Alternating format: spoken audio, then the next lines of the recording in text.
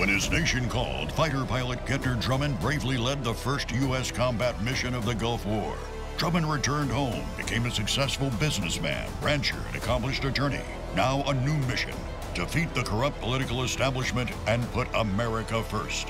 Whenever duty calls, Gentner Drummond answers the call. Especially when it comes to granddad duty. Always answering the call. Conservative Republican Gentner Drummond for Attorney General.